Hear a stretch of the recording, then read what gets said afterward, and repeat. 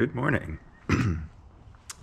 I am at my mom's in the garage working on this today. We're missing a few of the engine accessories at the moment, and that is because I am putting in a high output alternator, which goes down here in this lower position, and I am rebuilding the power steering pump, which goes up here in this area. So in order to get all that out, the air intake box is out, the ducting, and then I'm also rebuilding the throttle body on this here 22RE. Um, I am new to this vlogging stuff, so bear with me as I fumble my way through and find some sort of rhythm. I'll fill in more details at a later date on the vehicle itself and the plan for this vlog in general.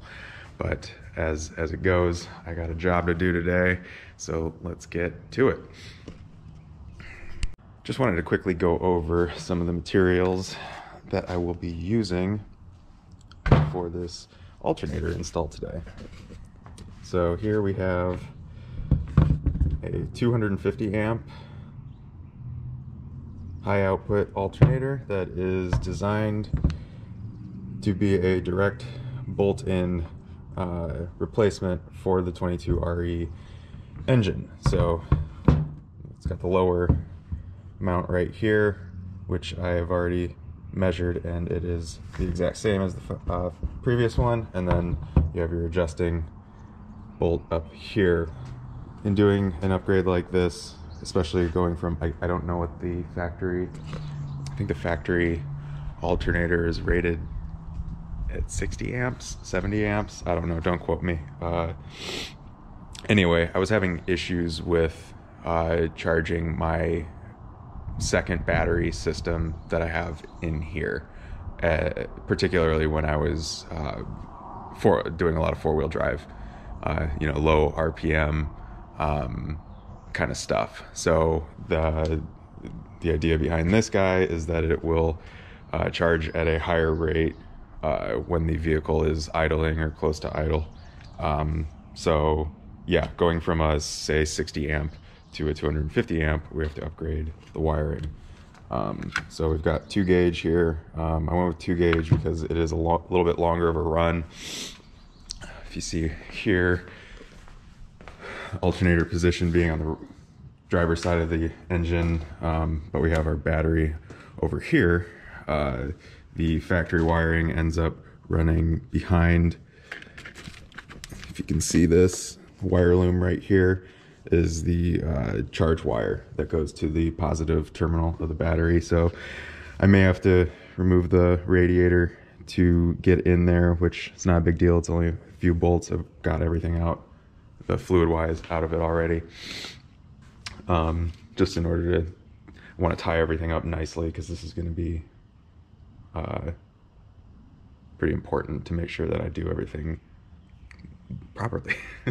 I'm no auto mechanic, by the way, so this is not a how-to uh, by any stretch of the imagination. Um, I'm hoping hoping I do all this right. I did a bunch of research, so anyway, this is marine grade. Um, all this stuff is really uh, I went with the highest quality that I could. Um, so marine grade. Um, this is not necessarily particularly high quality, but um, wire loom, just uh, an extra added protection. Um, and then some adhesive lined uh, heat shrink tubing and tin lined uh, co copper two gauge lugs for the ends of the battery and some or battery cable and some some 3M electrical tape. Quick update. Nothing is ever easy.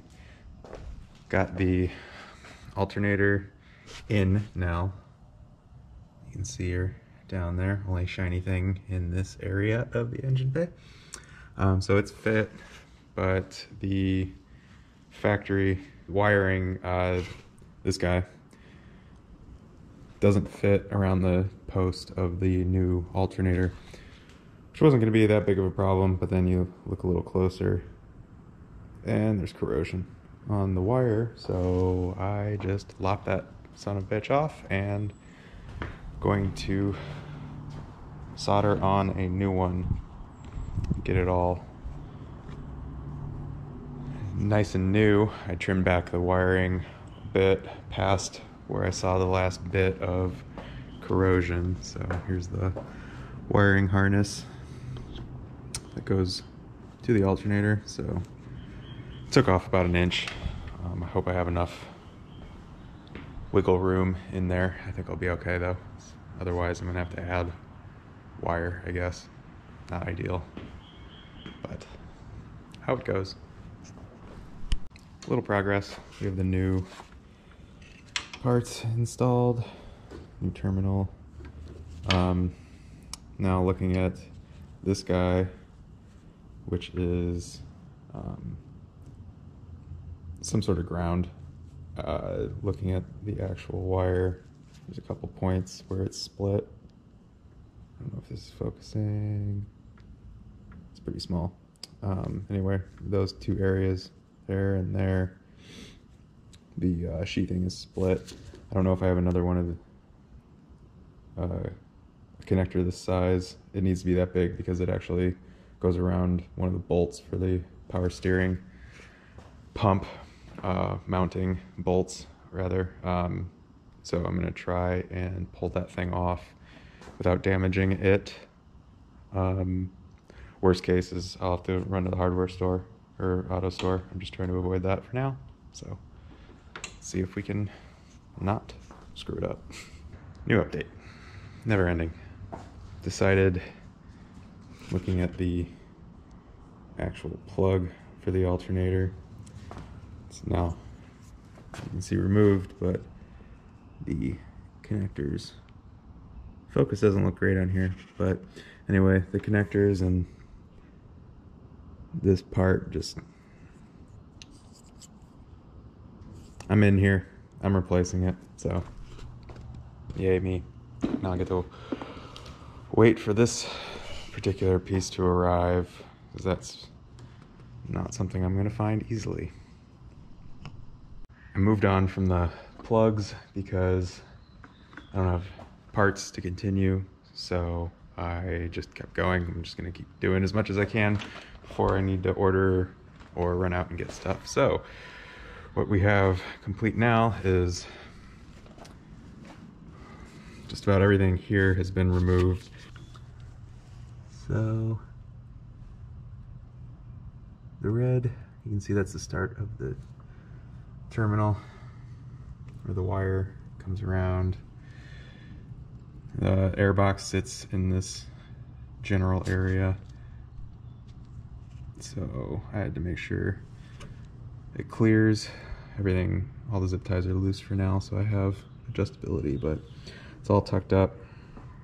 The uh, old looking wire loom is the factory wiring, so I ended up pulling the radiator out, made it a lot easier to maneuver around. There's only a few bolts. Um, so we're coming behind there, right around there, and to the positive terminal. We're getting somewhere. So over here, I've just been re-running the new wiring into this setup here, which does not have a lot of room. Barely, barely was able to get that to this red protective cover to stretch over all these wires with the uh, loom on them. Make it quite thick. So I still have let's see what did I do? I cut a new cable that goes to the starter from the battery. So that's done. And then I have left to do the I'm gonna run a new negative that runs down I think to the I don't know which down here. Mounts onto the engine block. For the ground, I think that'll be all of the new wiring. I ended up having to replace some wiring that I saw some damage to. Um, let's see, what else did I do? Uh, I removed some wiring from the previous owner for uh, front spotlights that was poorly done from the all the way through. The lights were junk, the wiring was junk. It was routed like junk, so that's done.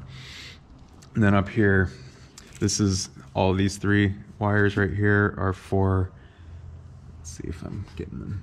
These three wires up here, there's, these are for the dual battery system and I have not had them uh, wrapped in anything, so I am going to as, tackle that as well, get that all cleaned up. Um, I did notice some little bit of wear in one of the lines. Luckily, didn't go through the uh, sheathing at all. So I think I'm fine without having to replace it. I'll just have to go through and really uh, check everything.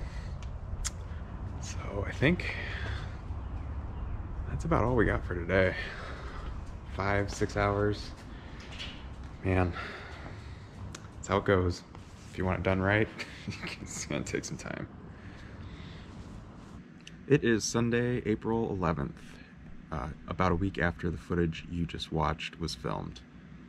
I have a lot more footage captured from this past week of me working on the 4Runner. So I think for now, the plan is going to be to try and release one video per week. Maybe more, maybe less. We'll see how things go.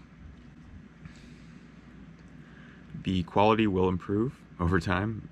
Not only me with these monologues, but also the uh, video quality and audio quality. This entire week was filmed using my GoPro uh, for a couple reasons. One being that it's a pretty dirty job and the GoPro just makes it so much easier. It also fits into pretty tight nooks and crannies for showing a little bit more detail in the engine bay and whatnot, but also because I have a really nice camera However, I'm much better with it uh, from a photography standpoint. I haven't shot much video on it. I know how to. I just want to to get started. I think that's the most important thing. So the GoPro was easy. As mentioned in one of the clips, I will be giving more information about the truck and the overall project. The truck is only a part of the project, so I think I have a lot more information to compile to try and give a decent representation as to what I'm trying to do. For now, I will just give you some information about the basics of the truck itself. It is a 1995 Toyota 4Runner SR5. It has the 22 RE four-cylinder engine with a five-speed manual, and it is four-wheel drive.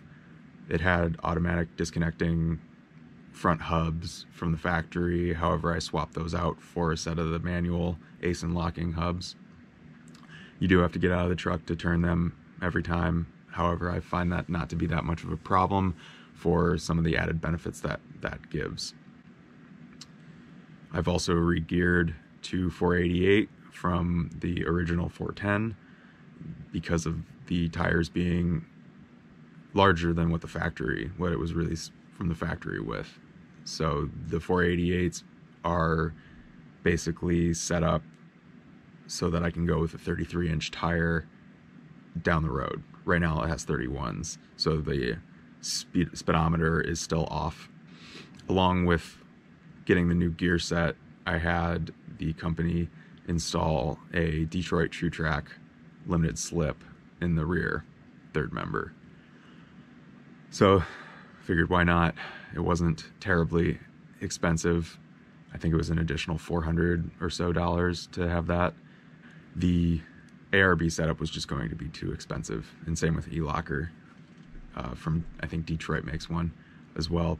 However, I could have gone another route with a used E-Locker setup from a Tacoma or a similar generation 4Runner, though that requires housing modification. I just wanted it, it to bolt in because I was doing the, the actual install of the third member. The gear set and everything was set up by East Coast Gear Supply, but I, I actually did the install. So I didn't want to go too crazy with grinding the housing and, and whatnot. So I had, uh, when I was doing that job, I was stuck outside working on it in Portland while it was raining. I wanted it done quick, needless to say. Mostly the truck is stock. I've gone through a bunch of systems and replaced wearable components. I try as much as possible to go with OEM, genuine Toyota parts wherever I can. and as much as I can afford it, it isn't the cheapest option in the world. And they also don't still they don't sell all parts for these older vehicles. This thing's 26 years old now. With that said, it uh, it does have Moog heavy duty springs in the rear. They're okay, but eventually I will be lifting it and going with most likely the o- OME Old Man Emu setup. And I just need to figure out which spring option I want to go for for the rear because they have a couple, I think two options, a heavier duty one if you're carrying a lot of weight all the time. So I'll probably go with that route. However, I've heard it's pretty harsh if you drive it unloaded. So I want to make sure that I'm at least carrying an additional 300 pounds at all times if I'm going to be going that route. I think that about wraps up the video for this week. I've got so much more information and things coming, but I don't want to make this video any longer than it already is. So again, thank you for watching. Hope you enjoyed, and we'll maybe see you again next week.